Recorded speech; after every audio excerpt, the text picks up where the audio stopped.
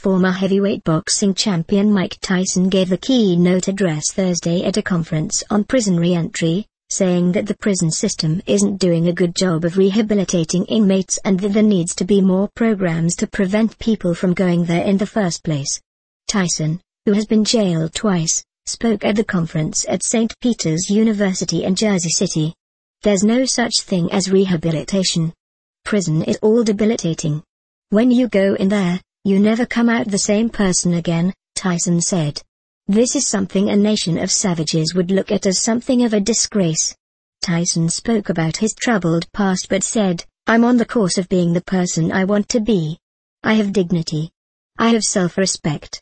Tyson was jailed in 1992 for rape and went to jail in 1999 on assault charges.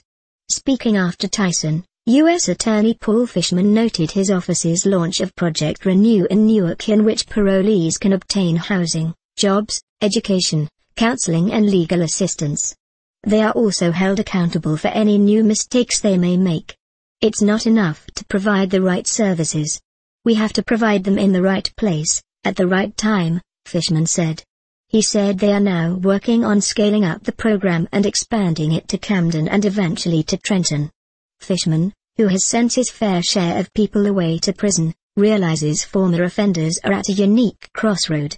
They are poised either to become law-abiding citizens, contributors to our communities, or to become frequent flyers in the criminal justice system. They need to know that the path of redemption is theirs to choose and they will be supported in the journey and their decision to leave what is familiar and trade it for the prospect of something that's a little scary but promises a better future, Fishman said. The conference was the brainchild of former New Jersey Governor Jim McGreevey, who is the executive director of the Jersey City Employment and Training Program. McGreevey has been counseling inmates since getting his divinity degree,